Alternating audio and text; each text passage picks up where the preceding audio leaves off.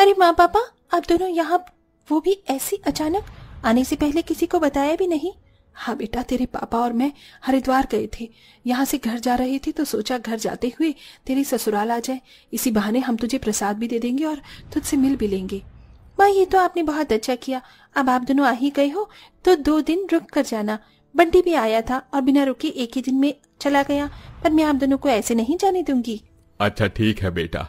अब तो इतना जिद कर ही रही है तो दो दिन हम रुक जाते हैं। ठीक है पापा। आप दोनों यही रुको। मैं गेस्ट रूम साफ़ करवा देती हूँ और उससे पहले मैं आपके लिए कुछ खाने के लिए लेकर आती हूँ।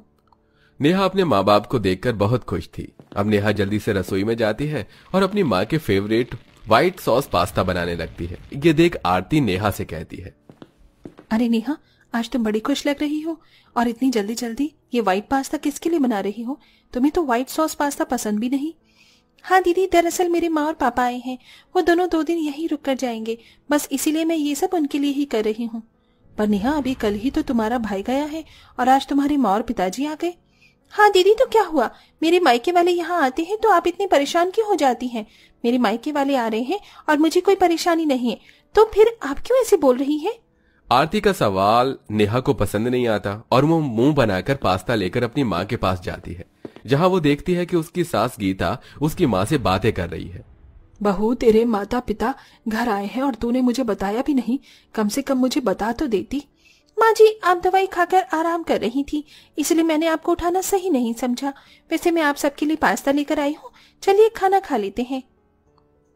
हाँ बहू, पर बहू, तेरे घर से कोई आता है तो एक बार मुझे बता दिया कर और समधन जी, खाना शुरू कीजिए।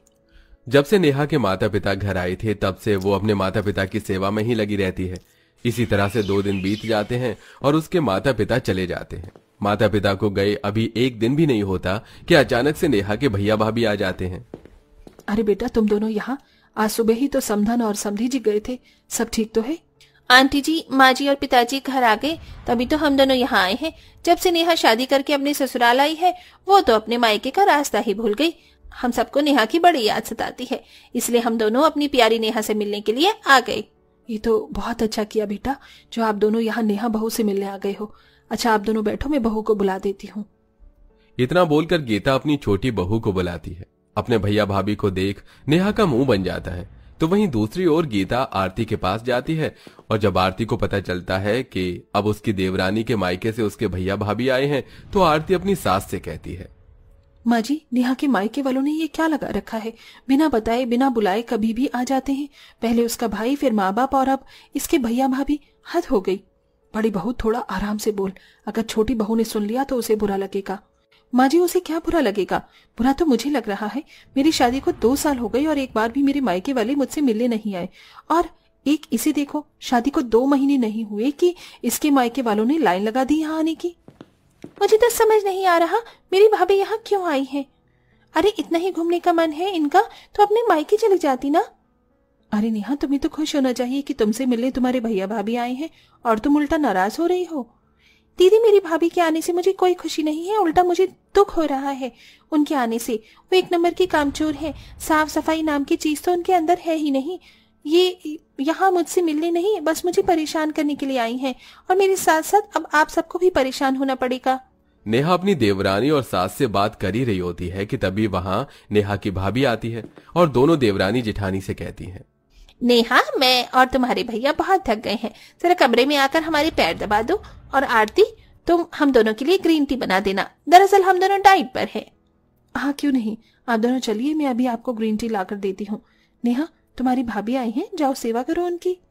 इतना बोलकर आरती ग्रीन टी बनाती है तो वहीं कमरे में जाकर नेहा अपनी भाभी के पैर दबाने लगती है। कुछ देर बाद आरती ग्रीन टी लेकर आती है जिसे पीकर नेहा की भाभी कप को सोफे के नीचे रख देती है और कुछ देर बाद दोबारा से नेहा और आरती को आवाज़ लगाती है। क्या हुआ भाभी जी? आपने हमें आवाज़ दी रात को? बिना अपनी ननंद की नींद नहीं आ रही है क्या? अरे, नहीं नहीं, ऐसा नहीं है। वो दरअसल हमें एसी में सोने की आदत थी। तो क्या नेहा, तुम अपना कमरा नहीं हमें दे सकती हो? क्योंकि इस कमरे में तो एसी खराब है।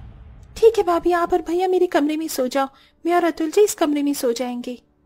इस तरह नेहा की भाभी आते ही नेहा से उसका कैमरा छीन लेती हैं और अगली सुबह उठकर गंदे कपड़े बाथरूम में फेंक देती हैं और बिना नहाए धोए रसोई में जाकर अपने लिए चाय बनाती हैं और फ्रिज खुला छोड़ देती हैं। यहाँ तक कि नेहा की भाभी गैस भी सही से बंद नहीं करती। कुछ देर बाद जब आरती और नेहा रसोई में आती हैं तो वो रसोई की बुरी हालत देख के बौखला जाती हैं। हे भगवान, ये सब क्या है? इन्हें एसी में सोने की आदत है और इन्हें इतना नहीं पता कि फ्रिज से सामान लेने के बाद फ्रिज बंद करना होता है और गैस भी सही से बंद नहीं किया। रसोई कितना गंदा कर रखा है इन्होंने। नेहा, तुम सही कहती थी। तुम्हारी भाभी के अंदर जरा भी सफ़ाई नहीं है। दीदी, मैं आपको क्या ही बताऊँ? इन्होंने मेरी नाक में दम करके रखा है।